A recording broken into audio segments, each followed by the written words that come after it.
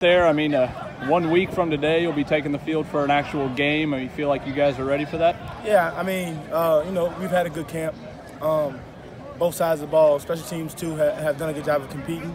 Um, you know, the culture of our program, I feel like it's shifting a little bit to where, you know, even freshmen are coming in and, and trying to take jobs, and, you know, and be superstars. So, um, you know, I think uh, we're getting there in this last week of practice. I think we're going to go in, focus, replenish, and you know, and be ready to, ready to compete on Saturday.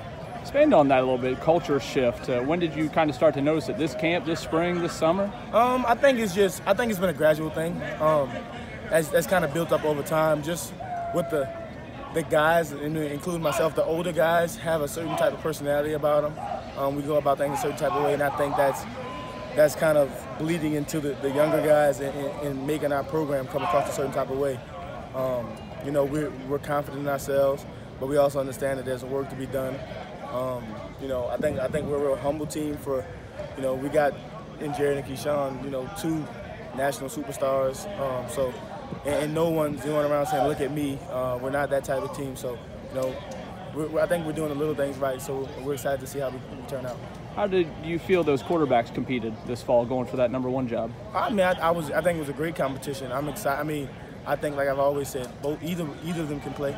Um, I think that you know, if you watch us practice, if you watch them practice, and if you watch them like from spring up until now, they've both gotten better. And I think that's that's in part due to the other person, and uh, you know, and just continue to push it, knowing that they can't slack off because there's somebody you know right behind them. How much have you delved into the Georgia defense at all? Um, I'll be honest. Uh, we, we, we started watching a, a few DB cutups. Um, not not too too much. Uh, but you, I mean, you played those guys in years past. Yeah, for me, I mean personally, I've I've just I dedicated my summer to you know learning defenses overall, so that you know there's only so many defenses team can run. So um, once I once I see their DBs and you know see who's returning for sure, and, and kind of I guess by Tuesday I'll, I'll have a good feel for who I need to watch and you know what I'm looking for.